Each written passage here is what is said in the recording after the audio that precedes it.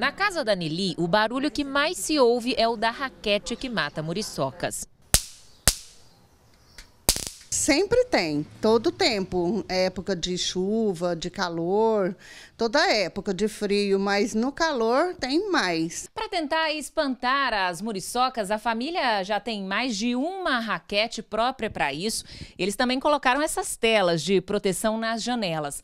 Tem veneno espalhado para tudo quanto é canto dessa casa. E até o ventilador é mais uma tentativa de mandar esses bichinhos para bem longe.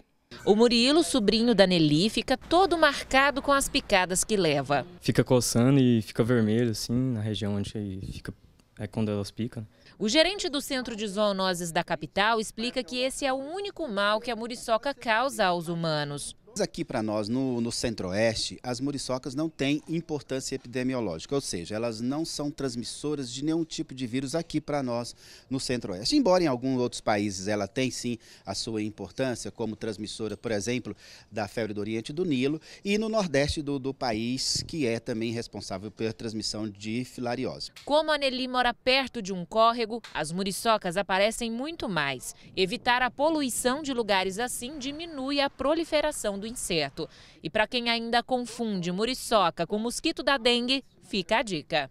Muriçoca é durante a noite. E o mosquito Aedes aegypti, transmissor de dengue, zika, chikungunya, é durante o dia. Então, tá incomodando à noite, é muriçoca. Tá incomodando de dia, é Aedes aegypti.